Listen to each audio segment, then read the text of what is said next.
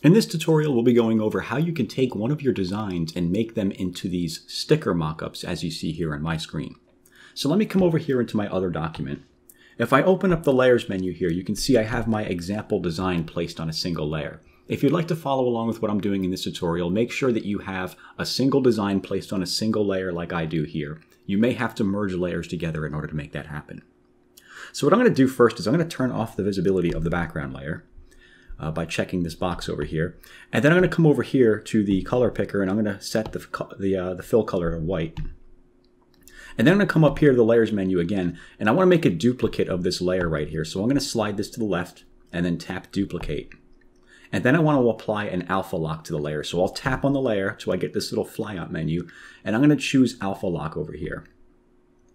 And now with al alpha lock implied, I can tap this again, and I can go to fill layer. And what that's going to do is it's going to fill it with white, which is the color I have set up here. So let's tap on this layer again. Let's remove the alpha lock, close out of the layers menu, and now I'm going to come over here to the effects menu and I'm going to apply a Gaussian blur. I'm going to apply it to the entire layer. And what I'm going to do is I'm going to place my, my pencil on the screen and I'm just going to slide to the right to apply a Gaussian blur like that. I'm going to apply a, a, pretty subtle one. The size of your blur is going to dictate the, the size of the white outline around your sticker, so keep that in mind when you're creating it. I'm going to go for a thinner, a thinner outline like that. Okay, now once you've done that, tap on the special effects menu again to deselect that.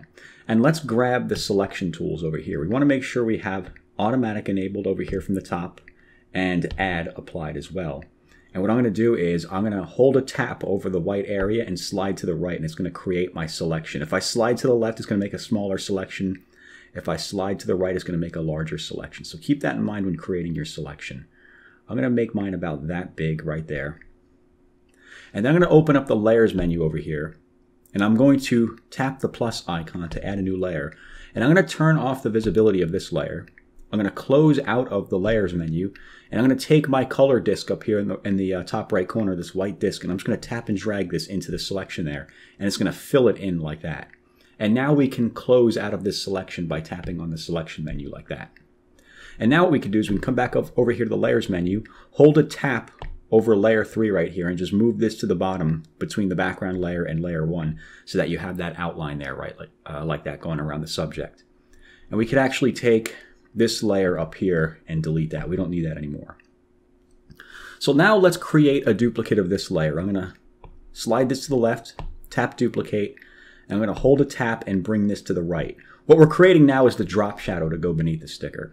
So let me apply an alpha lock here. I'm going to tap on this layer again, apply an alpha lock, and let me open up the color menu, and this time I'm going to choose black. And now I will come back up here to the layers menu, tap on layer 3, go to fill layer, and now we have that layer filled with black.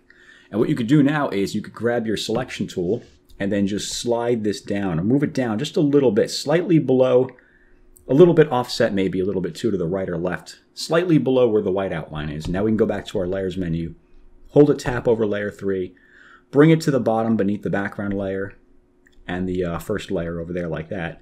And now what we can do is let's turn on the visibility of the background layer again. And let's come over here to the effects menu and go to Gaussian blur, apply it to the entire layer, and then just tap and slide on your screen to the right to apply a Gaussian blur. It looks like I did that wrong. Let me undo that. Before we do that, we actually have to remove the alpha lock. So let's tap on layer 3, let's remove the alpha lock, and then try that again. Come back up here to the layers menu, uh, to the uh, adjustments menu, Gaussian blur, layer, and now we should be able to blur it. There we go. So we're getting a little bit of a drop shadow effect there like that. And I'm actually going to bring down the opacity of that a little bit. I'm going to come back up here to the layers menu and I'm going to tap on this little N icon right here in the layer and that's going to allow me to change the opacity of that layer like that to make that drop shadow a little more subtle. Okay, looking better. Now we can close out of that.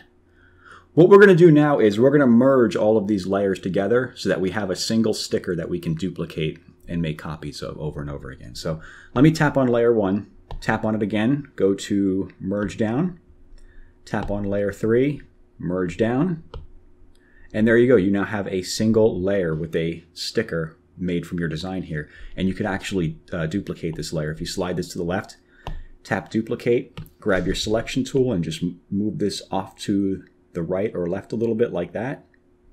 Do the same thing again, duplicate, grab your selection tool, move this off a little bit as well. Maybe rotate this one a little bit to make it look natural, like a little stack of stickers. Let me duplicate this again. Grab the selection tool, move this one over like that. And I'll rotate that one as well. Maybe I'll rotate this one like that. And there we go. So there you go. That is how you can take one of your designs and use it to make these sticker mock-ups using uh, Procreate for the iPad. If you have any questions, just leave a comment below. And as always, thanks for watching.